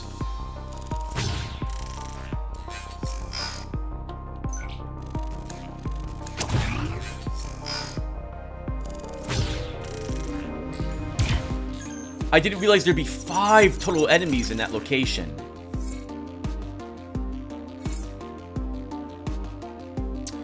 Okay, so Lotaeri has been damaged. I want Trimus up in this area to help us fight these enemies. I guess we should take a look at the Orion as well, briefly. The right weapon does not do too much damage, only 1 through 2. It has a good range, though, at range 9. It applies 20 heat upon hitting it one of our bots, and it applies 7 lingering heat as well. For next two turns, every single stack of lingering heat increases our heat by 1. I don't think you can cleanse lingering heat either once it's applied to you. Whenever this creature is damaged, 10 heat is applied back to the thing that damaged it as well. This means that if Trimus was to use his assault rifle on the Orion, he would suffer 30 heat points because that weapon attacks him three times in the round. It's going to be tricky to kill this because there's a repairman there as well. We're going to try to ignore the group to the south and fight through this group to reach this uh, repair station. If I can.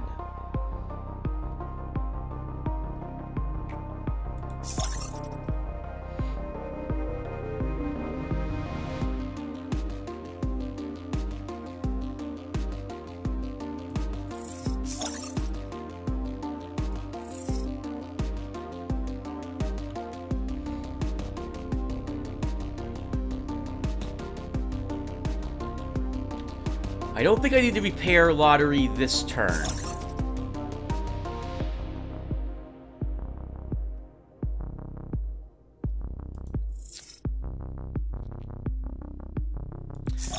Let's deal with this bot now. 25 hit points left. It's going to suffer 3 damage. There's 22 life left. Trimus can probably destroy it when he goes, so we'll have our other bots focus on a different heavy spider.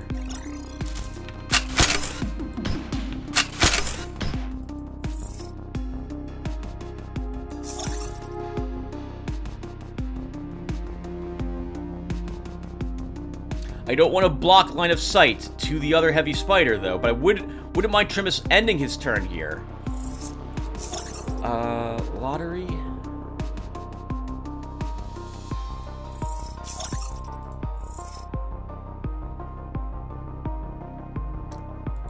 I, th I think if I move you here, you can't be hit by the Orion.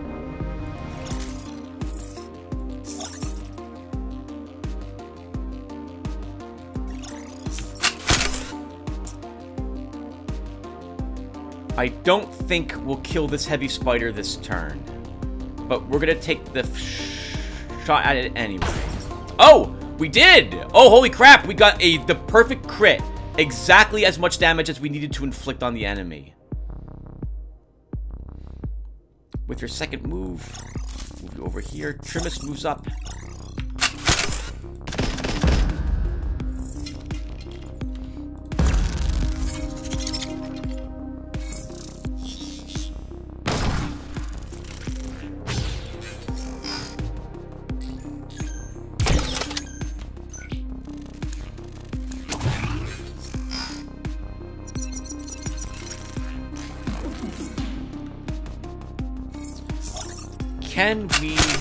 So we could put the ac uh, acid on the Orion. The repairman, though, would just heal it. It might be better for us to kill the repairman first. So I think we'll be attempting to do that. But I also want to get everyone into this room. It's going to be difficult to do based on where this heavy spider is located as well. Lotaeri also still has prop damage on him. So he has a penalty to his movement. Trimus has the same thing on him. So it's going to be tough to get him into, into this room. And even if I repair him, we still he still does not recover his movement for this turn.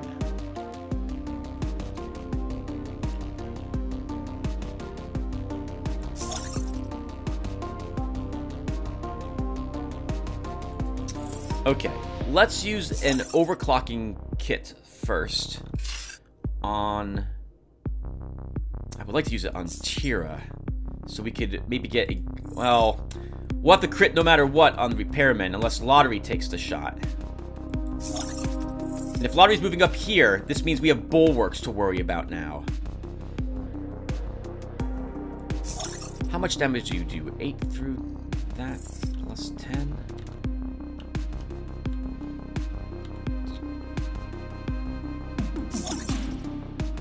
I think Trimus can kill the repairman if he's down here. Especially if we use the overclocking kit on him. So let's do that. Move you down here, Trimus. No! Failed! One hit point left. That was really unlucky. We got two nines. Okay. Well, too late now.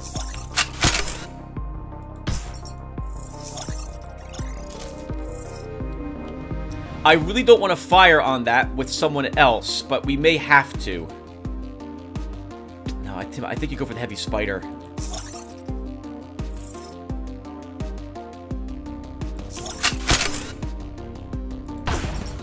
Go for the heavy spider.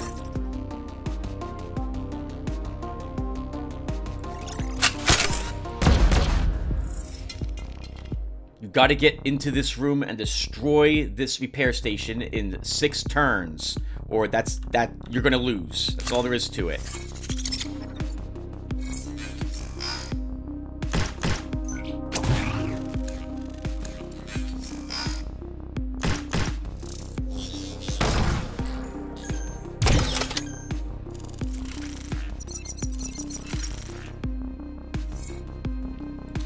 Lotaeri is getting very, very dangerously close to overheating.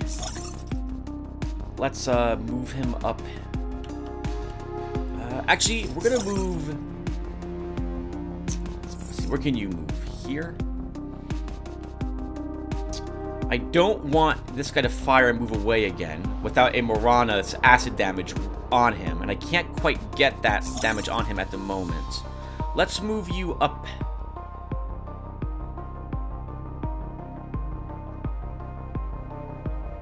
And Trimus is now pinned between these creatures. I'll have to destroy this wall if I want Trimus to circle around.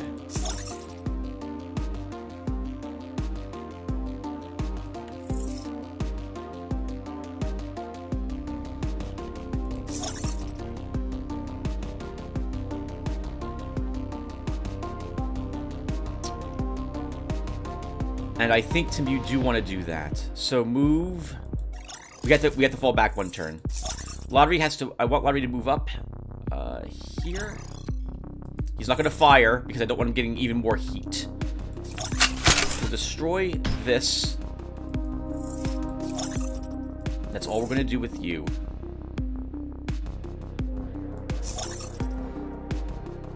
Trimus will end up moving here.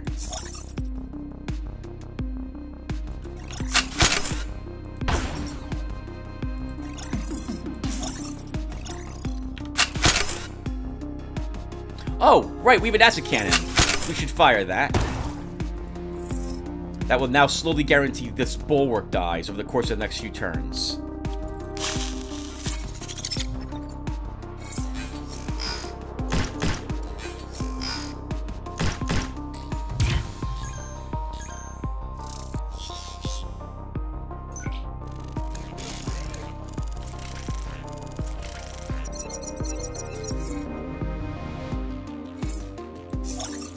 Lotaeri, we move you over here, and we put the acid uh, corrosion on the Acrid to make sure it dies.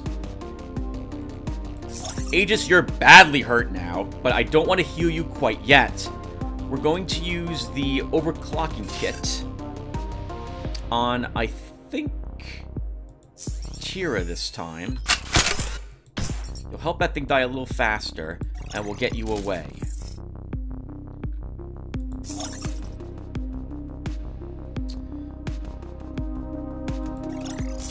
Tira will help. Guarantee that one dies this turn. Move you away. Trimus will use your acid cannon again. And get you blocking Aegis for us.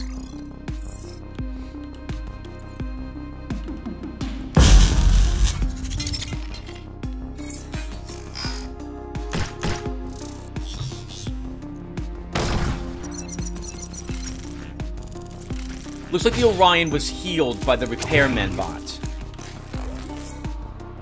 Which itself is running up here to act to get repaired from that repair station. So we want to stop that. Uh, Aegis would need to be... Is the only one, I think? No. Uh, Tira can take the shot if she moves here.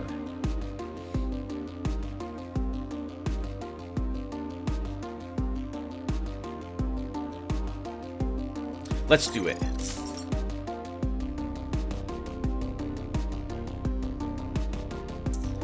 It has to be here.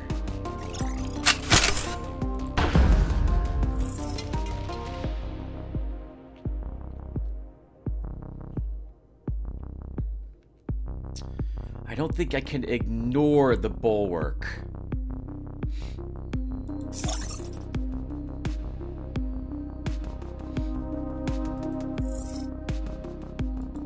Trimus has a lot of heat on him. I need him to get rid of some of that heat. So does Lotaeri, so I need I don't want either of them to fire this round. Aegis has to heal himself. He's taking a lot of damage. So let's do that to start.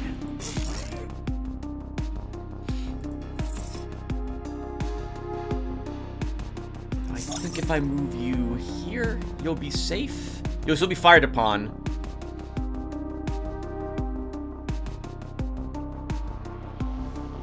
let's do it. I guess, uh, you're just to be overheated. I, I need to get that those hit points down a little bit more.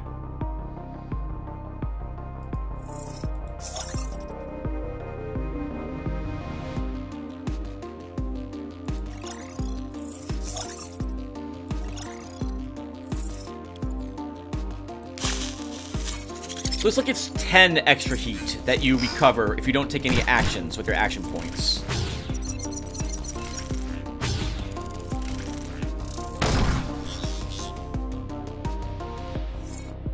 Okay, we need to kill this. We've got two rounds to do it. The Bulwark is dead on its turn. We're, we're so overheated as well. We might be losing several units here. And again, every three turns, our character is going to make another heavy spider for us to worry about as well.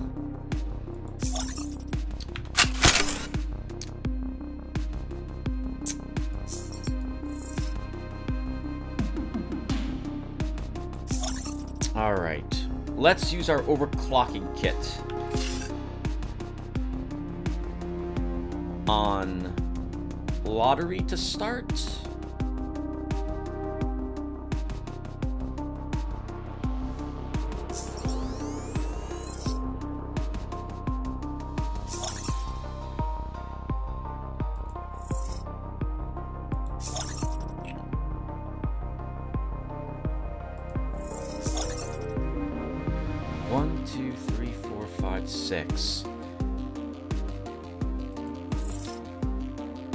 Probably destroy the repair station this round. It's very tempting to do it, although we'll be heavily uh, damaged in retaliation of that. Maybe even losing Tira in the process. Getting over here would be great to get our heat lowered as well. I just don't know if I can handle so many heavy spiders.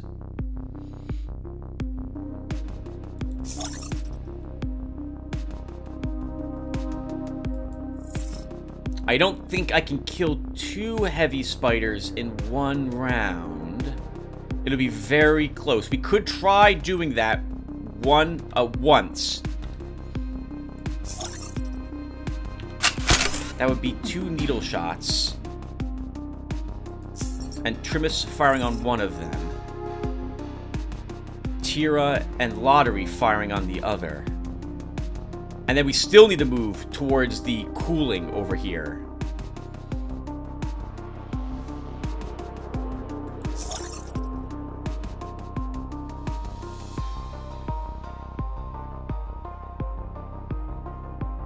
Okay, we'll give it a try. Didn't crit. That's terrible. So now it's definitely not happening at this point. Uh, Trimus.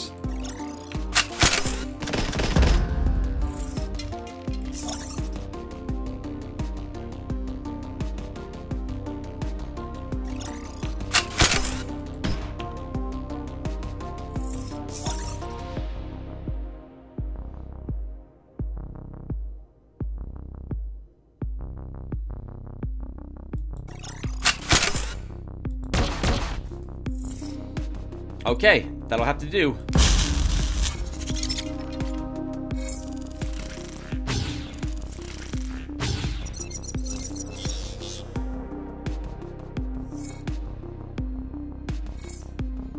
Tira, we have to get you over here to the coolant. And we, I, this turn, I need to destroy this, or we're getting reinforcements spawning.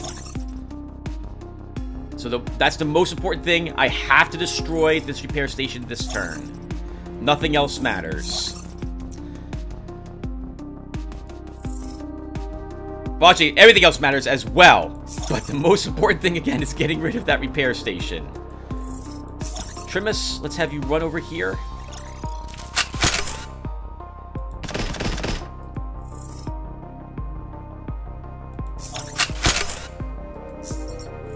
Just outside range. Lotaeri can do it.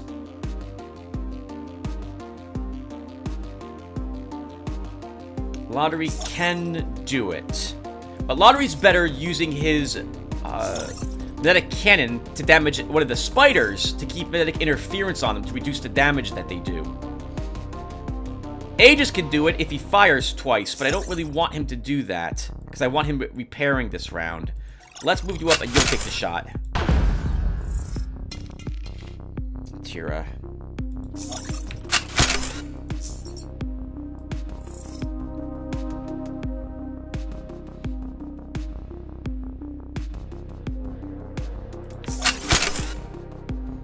Do I kill this spider or weaken this one? I think we'll weaken this one.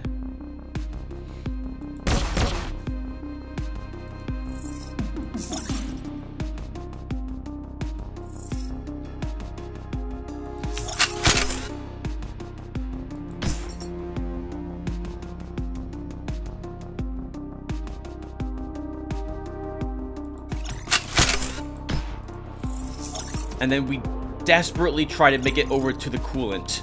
Uh, the cooler that we see over here.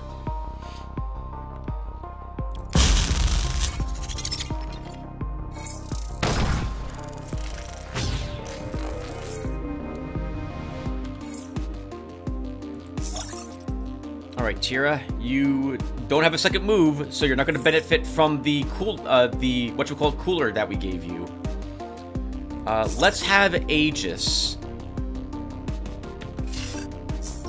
Well, hold on. The heavy spider can the heavy spider can probably be killed with a single. Well, no, it's gonna take it's gonna take two hits. All right, Lotaeri. If I move you here, we could fire on this with the acid. But I I also need to destroy the fabricator. That's now the next uh, most important thing to destroy. Why don't we move?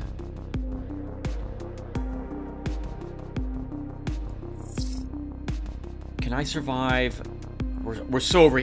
So, Lotaeri, as you can see, is taking 6 damage already because he's overheated. He's taking 7 more um, lingering heat damage. We This thing is getting really annoying. Let's, uh... We, we have to repair him. Especially if we're gonna uh, use him... If I'm gonna fire using him next turn.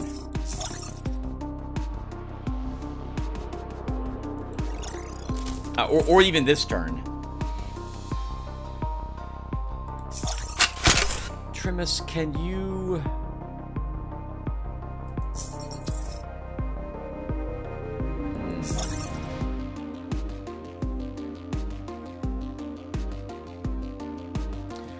We'll have Tira begin working the Orion.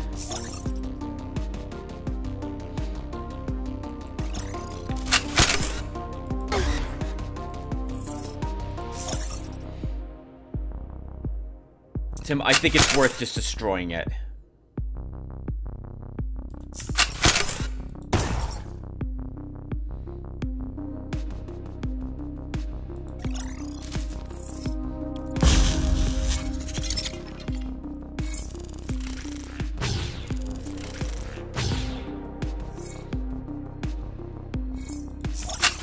Alright, we're badly hurt. Tira's almost dead, with 8 hit points left, and she's overheating. Um, she was property damaged again, so she doesn't get a second move, so she still can't, she doesn't benefit from deployable cooling, unless I don't move her at all. Lotaeri needs to cool down. We need to move him over here and not take any actions with him. Aegis, why don't we use the overclocking kit on Trimus? I have to move you to use it. So let's fire there. That will make sure that spider dies.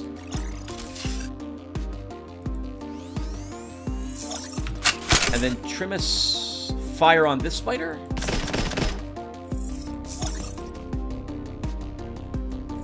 Tira, I need to fire with you.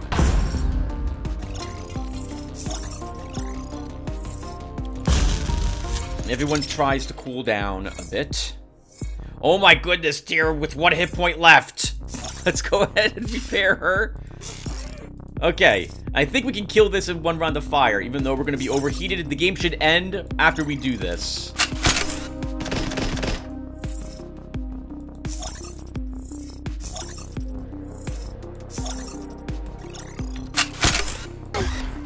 I did that in the wrong order. Lotaeri should have fired on it first, because the Morana reduces its armor by two points. And then every shot Trimus fired would have been an extra two points of damage. Uh, in any case, we did manage to do it without losing a unit. It was very close.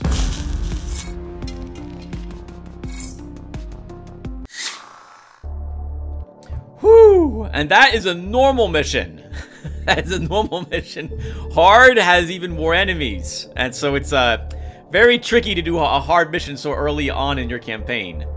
So we earned 94 matter, some thermal ammo, a heavy autocannon, and an acid cannon. An upgraded, an upgraded basically, uh, version of what Trimus was currently using. There's no reason for us to use the white version if we have the blue version instead. And I don't want to give these this old acid cannon to anyone else. So we'll, we'll give this to you, Trimus. And then we'll break down the old acid cannon.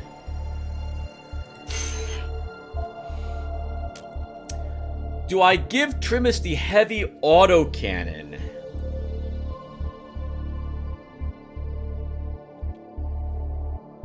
I think we've seen... I think we've seen that it's, uh, it's going to be really tough to keep the heat down on Trimus. So, uh, I don't think we'll give this to him at the moment. We'll hold on to it, though. I won't break it down for its, uh, its materials. Now, it's very difficult to overheat most enemies in the game. The developer has said that he would like to revisit how he did heat for the enemies that we're fighting, like lower their heat thresholds or something, but he, he's not, he doesn't have time to do it at the moment. Thermal ammo is not that useful to us in that regard. It is very difficult to overheat an enemy. But that said, there's no penalty for equipping thermal ammo on someone. And someone who has, he could make many attacks in a single round would benefit from the thermal ammo the most. We'll go ahead and just give it to Trimus at the moment. We don't need to break it down. I suppose Aegis could also have the heavy autocannon at the moment.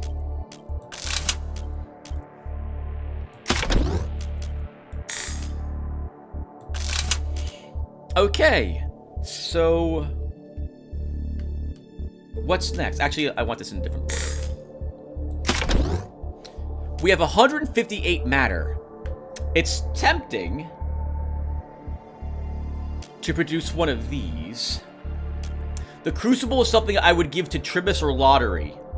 probably Trimus. Again, 40 max heat is actually very nice. Uh, then I could maybe drop his uh, his autocannon for the heavy autocannon instead.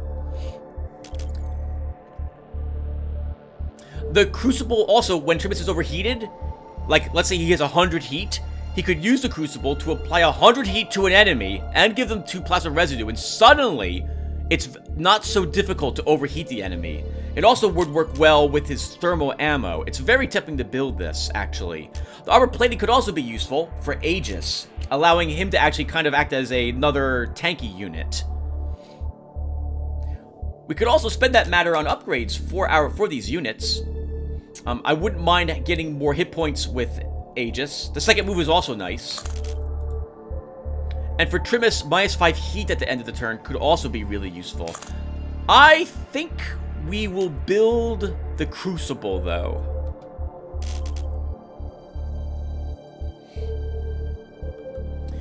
Actually, before we build the Crucible, let's see what's what we're fighting for over here.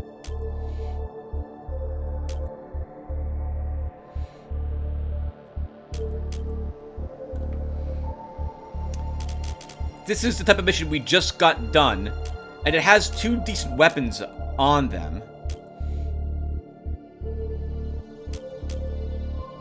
That's tempting. What else is here? Oh! Uh, well, it's a hard mission. A7 ammo is not bad.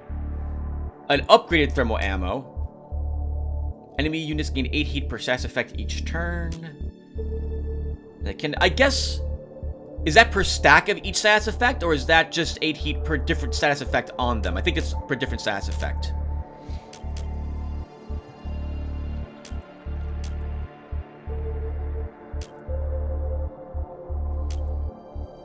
This could be nice, too. I do like seeing another blue acid infuser. There is a crucible here. It's not the blue crucible that we can craft, but still a decent thing to have. A lance could be nice. Yeah, these are all decent here, too. I just, I don't know if we can handle a hard mission. Well, anyway, uh, we're going to stop the recording at this point. So why don't I actually think about what I want off screen? And then when we come back, we'll go ahead and make whatever purchase we're going to spend our matter on. And then we'll go ahead and do a mission. So thank you guys for watching. Hopefully you guys like this. I, I really like mainframe defenders. Uh, I really, really like this game. I like the different weapons. I like how they're all used. I like the different squad mates you can take with you. I like how you have to choose which mission you want to do. It feels tough on normal as well. We came very close to losing two people uh, in that mission that we had just done. I like it. I, li I like this game. It's it's amazing. Uh, and if we did lose someone, by the way, uh, they have, I think they do less damage. And you can repair them for 25 matter to get rid of that uh, damage stats effect. So you and you can make a comeback from it. Uh, I beat when I beat the game with a whole different squad recently. I lost three people in one mission, and my last guy just barely survived. But he did survive, and I spent 75 matter fixing all three of my injured people, and I was able to claw back from that and still win that run. It was very fun. Alright, I'm babbling. Thank you all for watching, and we'll do another one of these, so I'll see you guys then. Thanks for watching, everyone.